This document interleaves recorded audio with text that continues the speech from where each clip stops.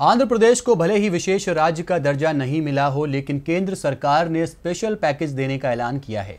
इस पैकेज के तहत राज्य को वित्तीय सहायता दी जाएगी, जिसमें पुल्लावरम सिंचाई परियोजना का पूरा खर्च उठाना और कर रियायतें देना शामिल है।